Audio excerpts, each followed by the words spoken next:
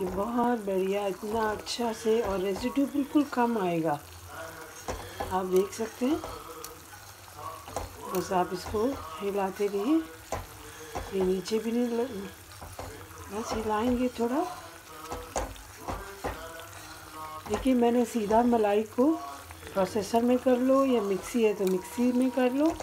और उससे क्या होगा? मक्खन निकल आता है। मक्खन में इतना कम, इतना बड़ा ये मेरा एक पाव से ज़्यादा की मलाई थी। उसमें से सिर्फ़ इतना सा, बहुत कम, एक कड़छी। बस वो निकला एक एक बड़ा टेबल स्पून निकला है, बस। और बाकी ये सारा मक्खन मैंने डाला और सीधा इसको मैंने हीट करना शुरू किया मीडियम पे। स्लो करने की ज़रूरत नहीं, अब मैंने थोड़ी पहले मीडियम पे करिए पाँच पहले तीन चार पाँच मिनट, फिर उसके बाद ये घी बनना शुरू हो जाएगा, फिर आपको स्लो कर लीजिए।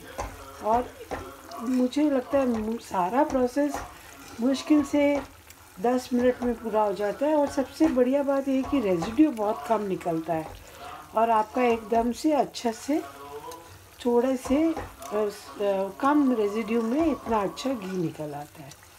तो बस आप ये बढ़िया से ये बहुत ही आसान तरीका है अपना, अपनी मलाई से, घर की मलाई से आसान तरीके से घी निकल कुछ करना नहीं है, सिंपल अपने फ्रिज में से निकालिए और अपना प्रोसेसर है तो प्रोसेसर में कर लीजिए, मिक्सी में कर लीजिए और वो जब हार्ड वो मक्खन बनेगा, बटर की शेप में आएगा तो बटर को थोड़ा हल्का सा पानी से धो लीजिए और फिर ना कढ़ाई में डालिए और बस, less than seven, eight minute maximum बस इट इज़ रेडी अब इसको बस, ये वाला जो रेजिड्यू है, इसमें आटा गूंद लीजिए।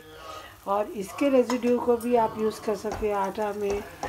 आटा गूंद सकते हैं या अपना कुछ भी बच्चों के लिए पंजीरी बनानी है, उसमें भी डाल सकते हैं। सूखा आटा डालिए और इसको यूज़ करिए।